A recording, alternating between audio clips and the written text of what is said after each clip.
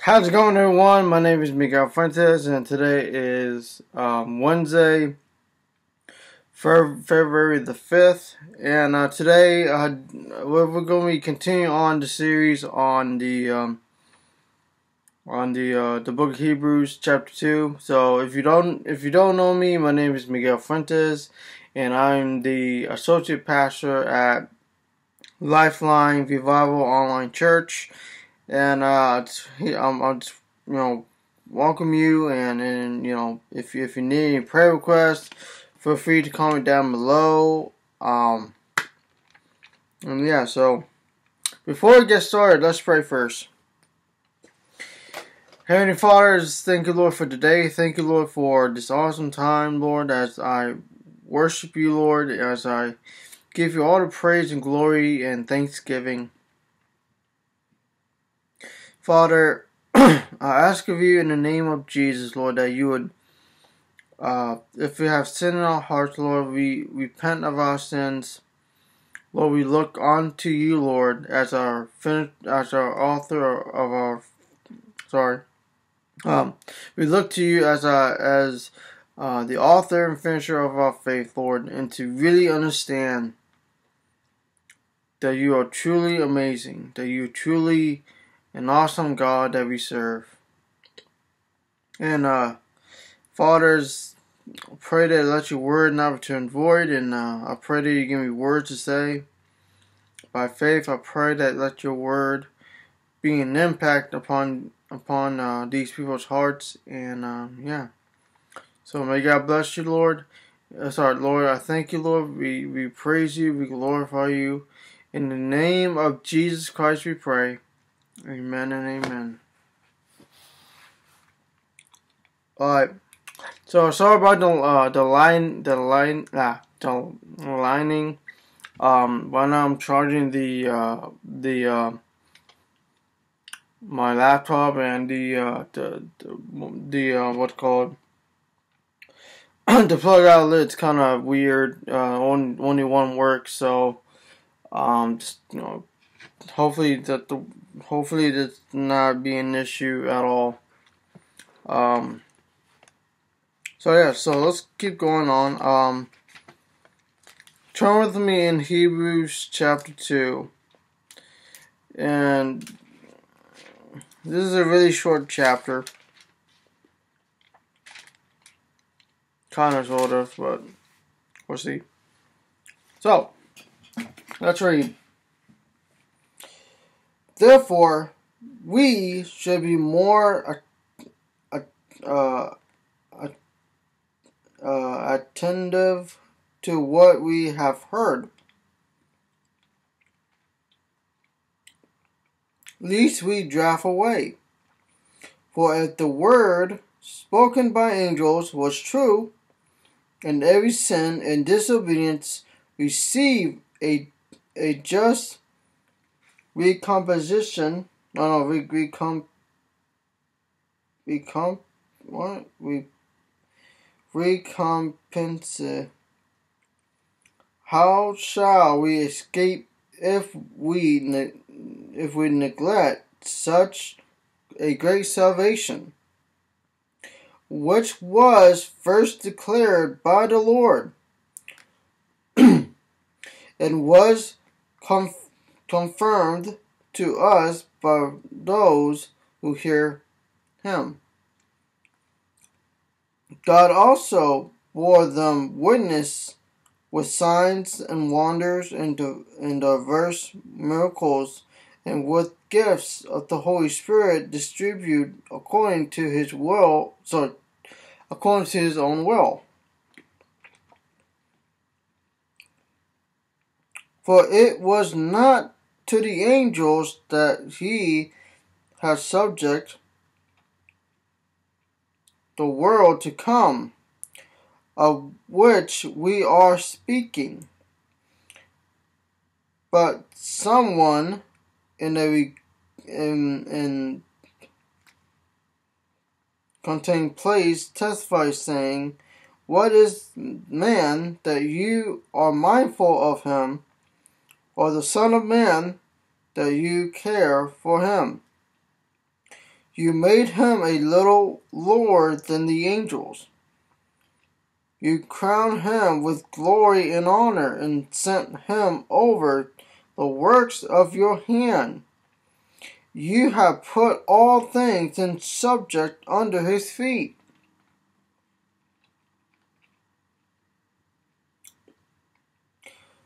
For in subject for in subjecting all things under him, he left nothing that is not subject to him. Yet now we do not see all things subject to him, but we see Jesus who was made a little lower than the angels to suffer death, crowned with glory and honor, so that he, by the grace of God, shall experience death for everyone. For it was fitting for him for whom and by whom all things existed. And bringing many sons to glory, to make the author of their salvation perfect through suffering. For all both he who sacrifices and those who are sanctified are all of one. For this reason he is not ashamed to call themselves, sorry, to call them brothers, saying, I will declare your name to my brothers. In the midst of the congregation, I will sing praise to you. And again, I will put my trust in him. And again, here I am and the children whom God has given me.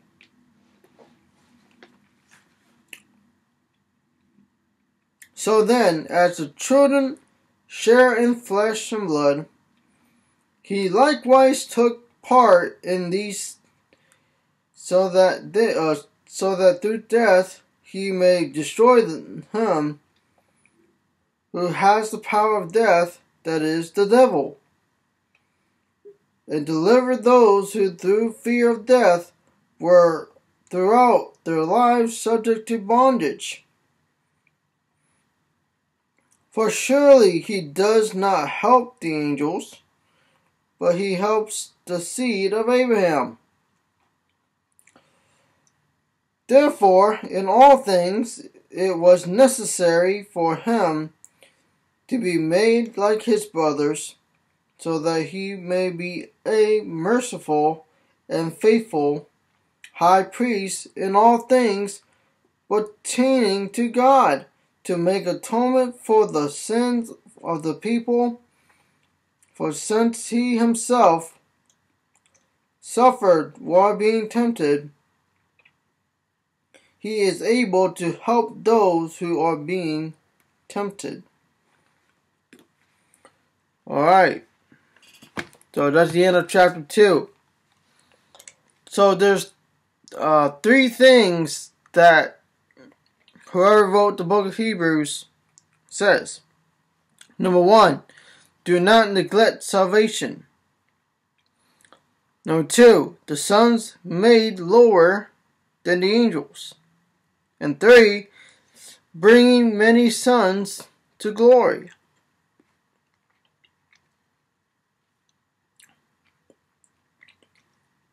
Ah, all right. Sorry, just sucking up the uh, the hall. I'm trying to relax my vocal cords some.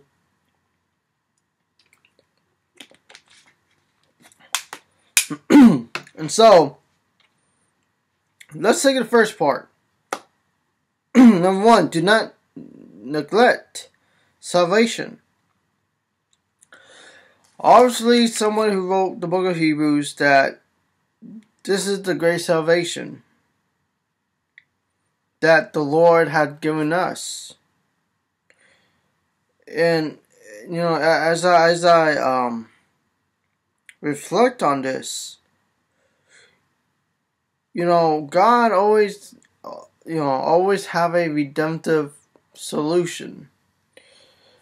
Uh, for example, like in the book of Judges, we see how God uses the judges to bring the children of Israel back to God after they after they disobeyed the Lord and that they were um, basically being uh, um, how do you say being uh, invaded by the Philistines to worship the false gods and that and that we ought to understand that we can easily walk away from the Lord. But if we have a strong faith in the Lord, you know, we're not going to walk away from God because He was walking, sorry, uh, we, we walk with God on a daily basis and that we see signs and wonders of what God has done in our lives. And, and, and that's why it's so important in, in the book of Philippians that talks about work out your work out your own salvation with fear and trembling, or trembling. Because without that, how are you going to fear God? How how are you how are you gonna work your own salvation out? You know, we are saved by Christ, absolutely.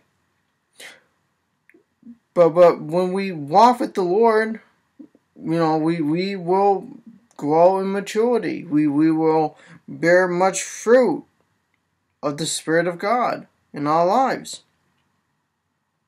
And that, and that many people believe that we should, you know, be saved, you know, you know, what's it called, um, say the sinner's prayer and, and do whatever you want, which is not salvation, which is not truly a biblical salvation yes, you know, we, we say a prayer to let God know that I want to change my life. But it is by your own personal relationship with the Lord that will help you grow in maturity through the power of the Holy Spirit. And yes, you will see signs and wonders. You know, if you lose a job, God will give you another job. You know, uh, you know, I don't know when, you know, it could be two weeks from now, three weeks from now, don't know. But God made a promise. God made a promise to those who love Him that He will um, discipline you, He will uh, refine you by the fire of God. And truly understand that many people don't understand what true salvation is. And, and true salvation is through your personal walk with the Lord. Okay? Um, and so, and so let's take a look at another part. Uh, number two, the Son made lower than the angels, or or some or some translations that have the one of those um one of those uh little titles from you know if you read um called the, the, the pioneer of salvation. And and when I look at this, and I and, and, and I think, man, how powerful it is. Um, when we see um, in verse nine, it says, "But we see Jesus, who was made a little lower." than the angels to suffer death, crowned with glory and honor, so that he, by the grace of God, shall experience death for everyone. For everyone. So Jesus was the ultimate sacrifice to pay the price for our sins.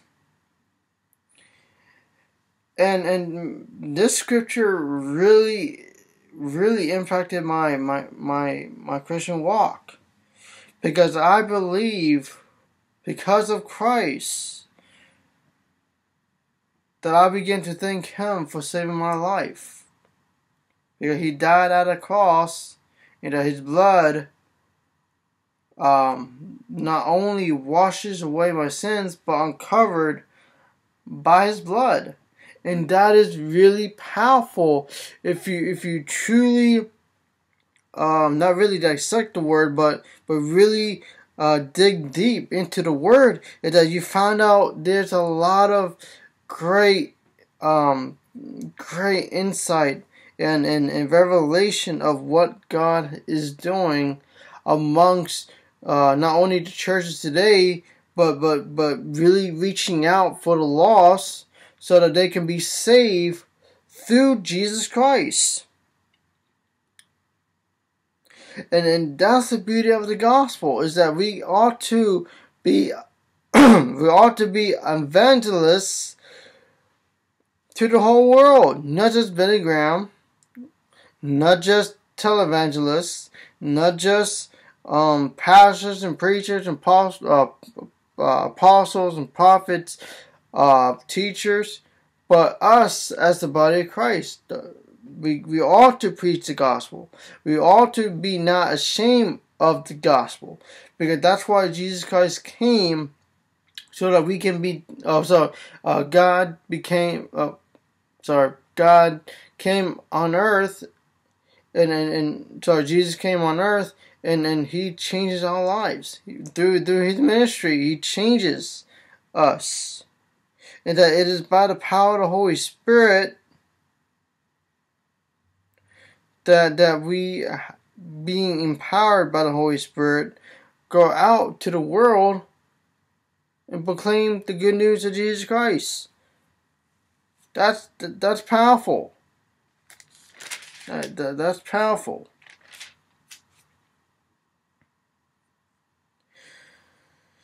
Uh, last but not least, bringing many sons to glory.